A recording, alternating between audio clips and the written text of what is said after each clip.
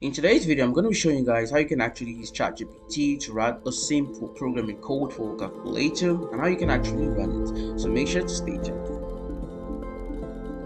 So the first thing you want to do is to go to chat.openai.com, chat.openai.com. You want to type this directly, okay?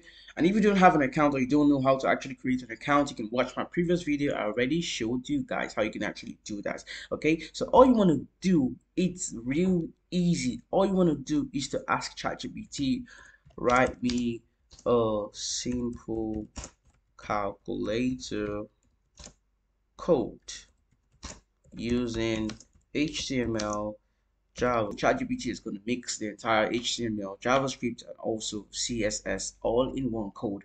So I'm going to open HTML pad, okay, just to run the code, okay, and then you want to evaluate, right? And then I'm basically going to wait for ChatGPT to be done, okay? Then let's chat ChatGPT. Okay, ChatGPT is generating the code. Like I said, it's all in one, so it's probably going to take a lot of time. The copying it is to paste the code over here. Okay, as you can see, I just copied directly from ChatGPT, and then you're pasting, and then all you want to do is to save this. Okay, so I'm basically going to save this as calculator.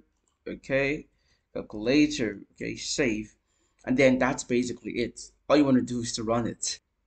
So as you can see, this is basically how it's going to look like. This is basically the idea, okay? You want to ask ChatGPT to write you a code, the simple calculator code. Okay, you can actually do this individually, although, okay, to make things better, but it's actually faster doing it, you know, in a single code, okay? So that's basically how you can actually use ChatGPT to create a simple calculator that is to program a simple calculator. You will surely enjoy today's video. You learned a lot from today's video and you still haven't subscribed. Make sure to subscribe as I'm sure you definitely don't want to miss out on my highly informative upcoming content.